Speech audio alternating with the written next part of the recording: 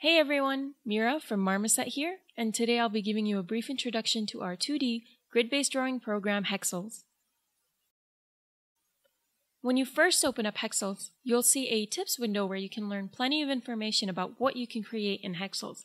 And if you go to File, Example Files, you'll find a few finished pieces that we've provided to show off the different styles of art you can achieve. So I encourage you to explore these two things and generally just experiment. On the left, you'll find all of your brush tools, and if you go to the Modes tab on the right, you'll be able to change the canvas shape that you want to draw with. And under every shape mode are settings and sliders that you can adjust to get variations of that shape. So consider these two things the basics of your Hexels knowledge.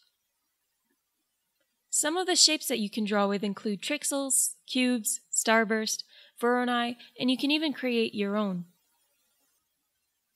Canvas size will vary depending on the shape you pick, so I'd recommend you pick your shape mode first and then figure out your document dimensions. You'll be able to do so by going to the Document tab. Also, if you want to see where and what you're about to draw, check the Show Grid box, and from there you can adjust things like the grid width and the grid color. Keep in mind though that if you leave these settings checked, the results will show up on your exported image. So unless you're using them for effect, make sure to turn them off before export. For today's demo, I've chosen to use a standard hex shape mode, and I'll be showing off a few of my personal favorite painting options. One of these options is halftone mode, which is used to create different size shapes.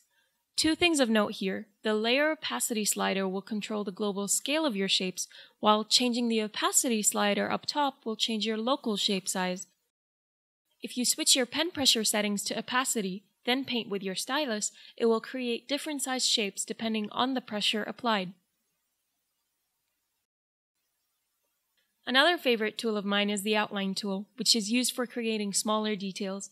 You can adjust the line width from 0 to 100, and the bigger the value, the thicker the line will be. You can also set the pen pressure setting to two color mode, which will give you some interesting transitions between your background and foreground colors. If you apply firm pressure, you'll reveal more of the background color, while applying gentle pressure will reveal a foreground color, and mid-level pressure will give you a mix of both. Textures are a great way to add more character to your piece. Once enabled, you can load up any of the preset textures or any of your own and paint them in. You can change your texture's rotation, scale, opacity, and any changes you make to a painted texture will happen in real time. There are also multiple blending and mapping options for you to play with to get the most out of your textures. Once you're satisfied with what you've drawn, go to File, Export, and give your painting a really original name, like Hexels for instance. The export window shows up and you'll have a slider for exporting at virtually any resolution you want. You also have the ability to export your painting in glow only and type in specific dimensions for your final image. Now that it's exported, go crazy. Show all of your friends and family. Give it out at your cousin's wedding. Alternatively, you can submit it to us at any of these addresses so we can marvel at it for ridiculously long hours. Have fun and thanks for watching. Be sure to check out our website to learn more about Hexels.